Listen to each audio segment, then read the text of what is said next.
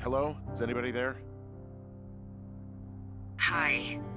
Y- yeah, it's me. I'm back at the staging area near the trailhead. I think I see your truck.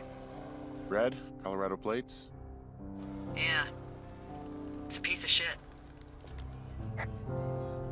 Well, yeah.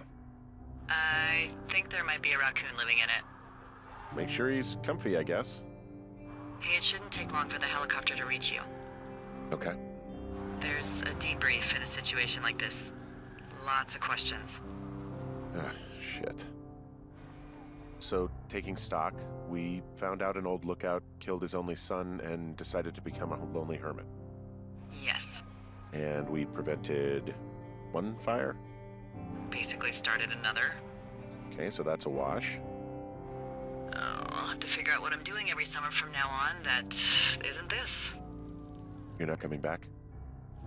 No. And you'll have to. I don't know.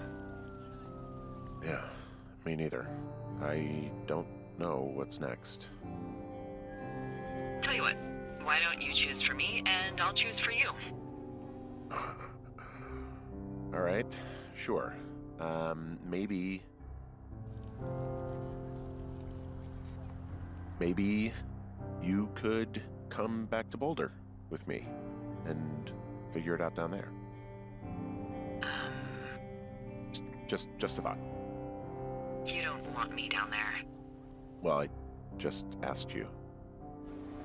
Look, I've got some things to do in Casper, and maybe I'll head south sometime after that. I could come by, sure.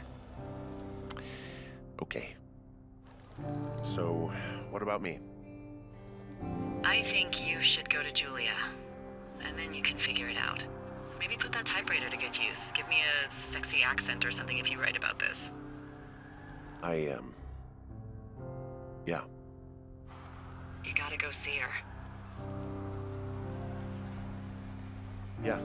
Sure. Henry, I. Look, you came out to put your memories behind you, and they're still right there in front of you.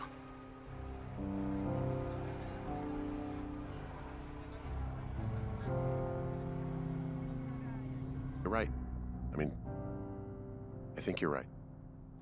Good. When I get back, maybe I could, um, We shouldn't focus on this summer. Next year we'll roll around, and then the year after that, and then it's just, uh.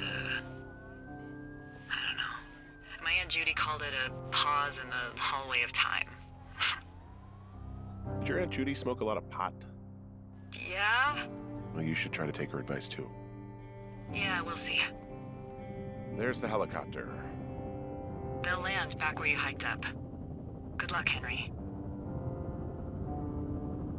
Thank you, Delilah. I appreciate it. I mean it. Good luck. Thanks. Bye, Hank.